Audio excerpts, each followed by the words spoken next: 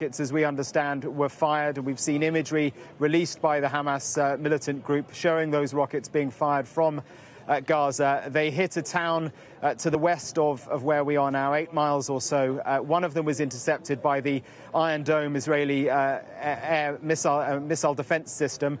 The others uh, did uh, impact. One of them, we believe, hit a house, uh, are not now. I've just got off the phone from a. Um, uh, a spokesperson for the IDF, the Israeli Defense Forces, and I'll, I'll read you some of what they have said to me. Uh, he said um, that this is a blatant attack by Hamas against Israel, a very severe assault on Israel, an attack that Hamas will know will go uh, will not go unanswered. Multiple rockets were fired from Gaza, more than 45 in total.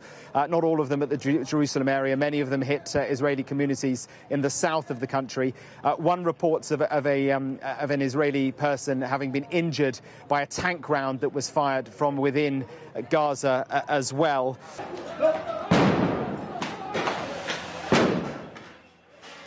Al-Aqsa Mosque compound is known as Temple Mount to Israelis and is a holy site in both Judaism and Islam. A spokesman for Prime Minister Benjamin Netanyahu claimed that, quote, extremist Palestinians had planned the riots